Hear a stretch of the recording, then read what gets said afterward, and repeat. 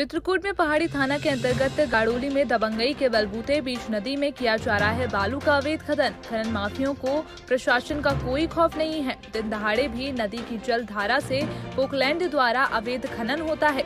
सूत्रों के मुताबिक ठेकेदार द्वारा खनिज विभाग द्वारा पट्टे के सीमांकन से अधिक किया जा रहा है।